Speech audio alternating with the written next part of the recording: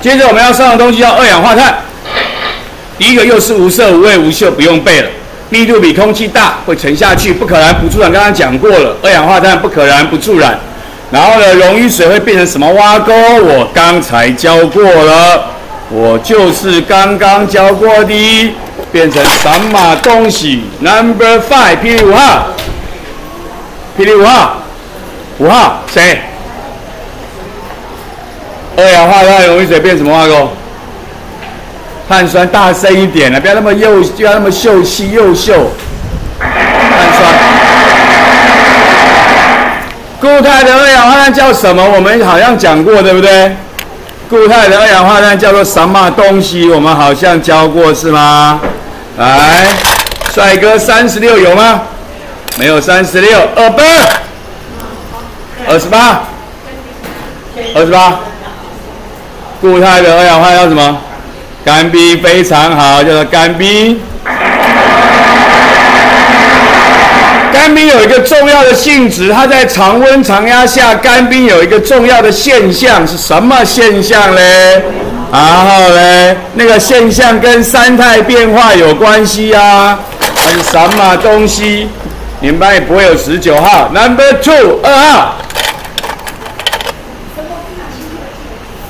会怎样呢？会怎样啊？跟三态变化有关系。干冰会如何？阿力工上升华，你们能不能不要那么秀气啊？老人家耳朵不好，听不见了。升华，好，要记碳酸干冰会升华。谁会产生二氧化碳？生物老师教过了，呼吸作用。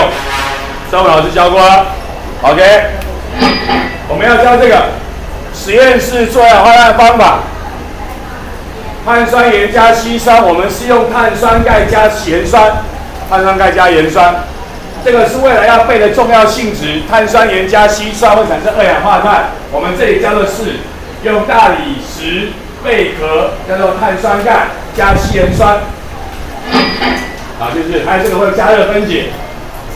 碳酸钙跟碳酸氢钠加热分解，这些未来都还会再教到，请你现在就背起来。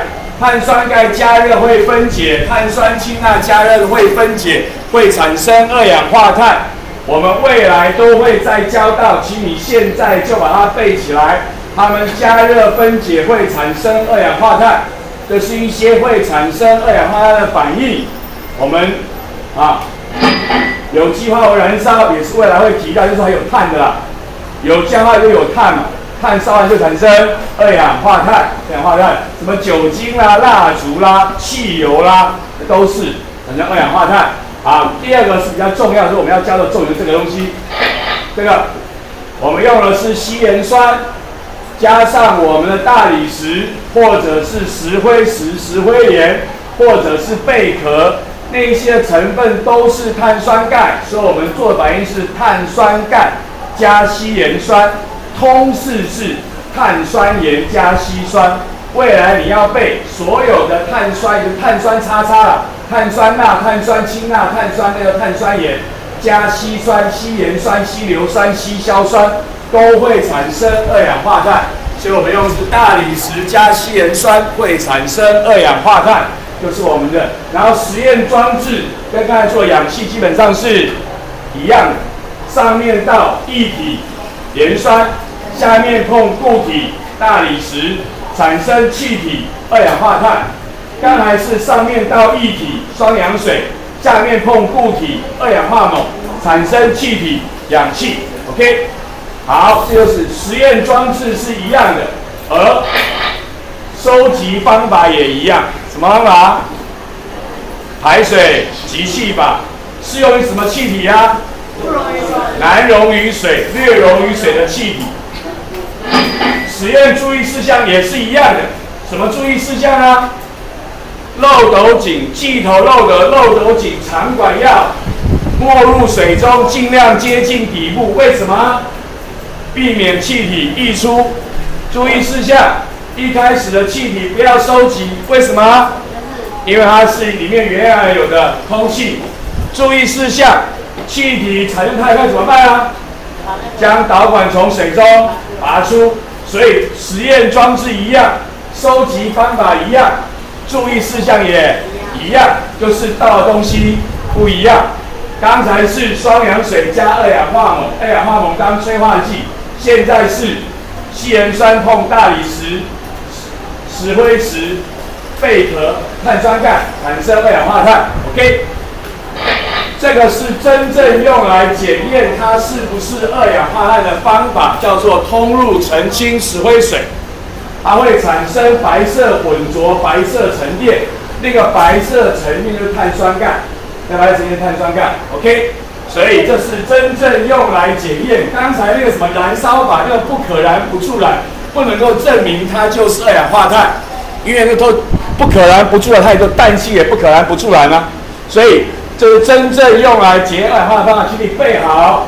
如何知道它是二氧化碳？请通入澄清石灰水，会产生白色混浊、白色沉淀，那个白色沉淀碳酸钙。另外，这个实验要注意，拿一瓶澄清石灰水，用一个吸管对着里面吹气，气里面有二氧化碳，它就会变成白色混浊。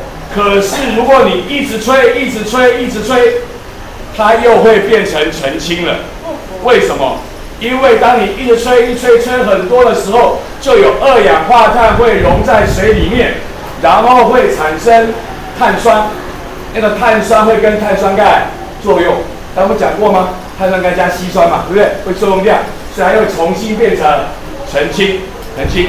所以对它吹气，本来澄清，吹一吹会变浑浊，一吹、一吹、一吹都会变成。澄清，对澄清，那是因为二氧化碳溶于水变碳酸，碳酸跟碳酸钙作用的关系，这就是我们的重点。重点一，当然就是你要如何制造二氧化碳，实验装置、实验器材注意事项。